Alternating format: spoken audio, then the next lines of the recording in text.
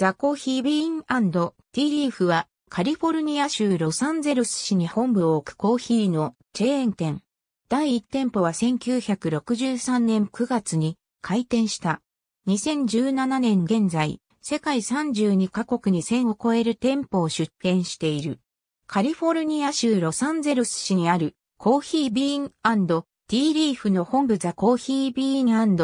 ィーリーフはモナハイマンとハーバート・ハイマンによって1963年9月に創業された。第1店舗はロサンゼルス市郊外のブレントウッド。この店舗は未だ営業している。コーヒービーンは長い間、多くのハリウッドスターを含む多くの人に愛されており、今日のカフェビジネスの成功例とされている。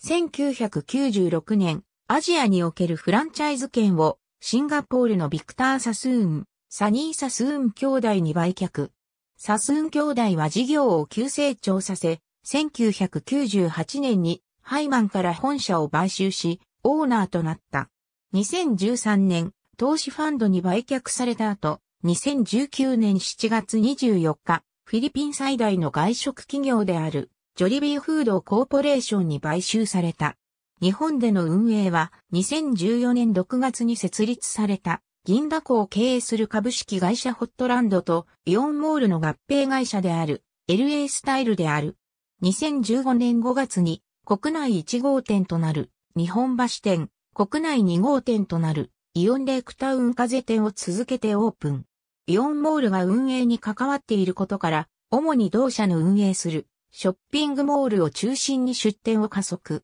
2016年5月までに関東、東海、関西に12店舗を展開した。しかし、2016年8月に機関店となる南青山店がわずか4ヶ月で閉店するなど、2017年にかけて閉店する店舗が相次ぎ、2018年6月現在では4店舗までに減少。その後東海、関西からは撤退した一方、2020年6月に佐野プレミアムアウトレットにおよそ4年ぶりの新店舗をオープンし、関東で1店舗が営業中である。ありがとうございます。